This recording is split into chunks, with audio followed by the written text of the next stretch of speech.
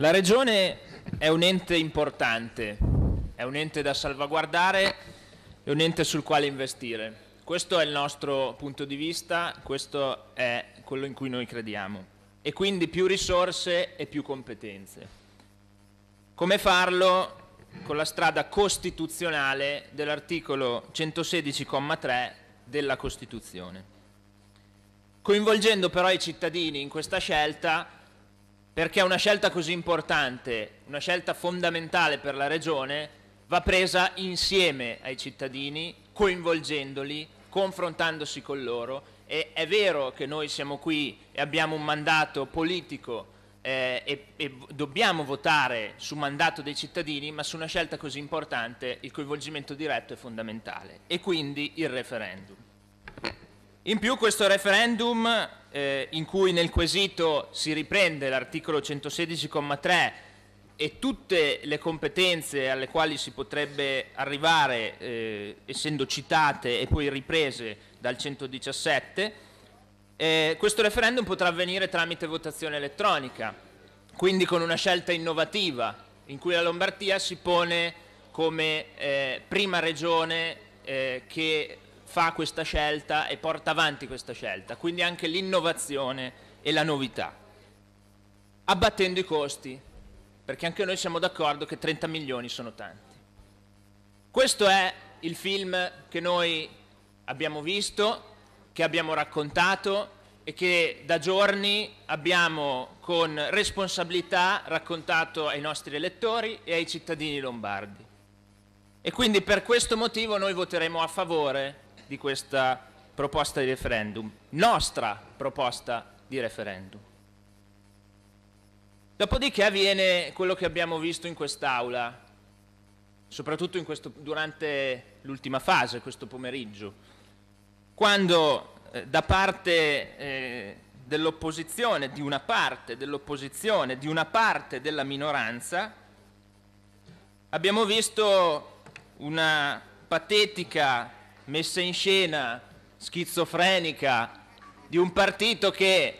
fino a due ore fa ci dava dei poltronari, delle stampelle, dei venduti, se vogliamo, che si sono eh, per un voto elettronico immolati eh, sull'altare di Maroni e che hanno, sono scesi al voto di scambio alla fiducia a questa maggioranza, fiducia che noi non daremo, mai daremo e, e, contro la quale sempre ci esprimeremo e criticheremo per tutte le scelte che hanno fatto, questa eh, minoranza che fino a due ore fa vedeva, ci etichettava in questa maniera, vedendo il referendum, definendo il referendum come fumo negli occhi, come una, una, una propaganda populista,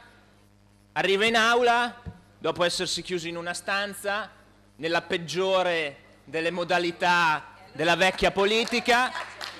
arrivano qua e, e, e magicamente il referendum diventa uno strumento, il referendum diventa un momento eh, da mettere in atto previa eh, avvio della proposta istituzionale. Magicamente si cambia idea perché si era rimasti col cerino in mano, si era rimasti nell'angolo e si cerca di uscire. Magari, e magari sulla stampa, e questo lo dico forte e chiaro perché deve essere chiaro, magari uscirà anche questa grande apertura del Partito Democratico, che invece si è dimostrato pessimo nel modo con cui ha gestito la cosa, nel modo con cui ci ha etichettati in maniera ingrata e poi è arrivato qui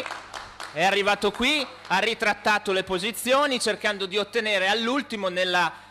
più vecchia e becera strategia partitica da primissima Repubblica e si sa che il Presidente Renzi ha una certa ammirazione per, per questo tipo di, eh, di modo di, di agire,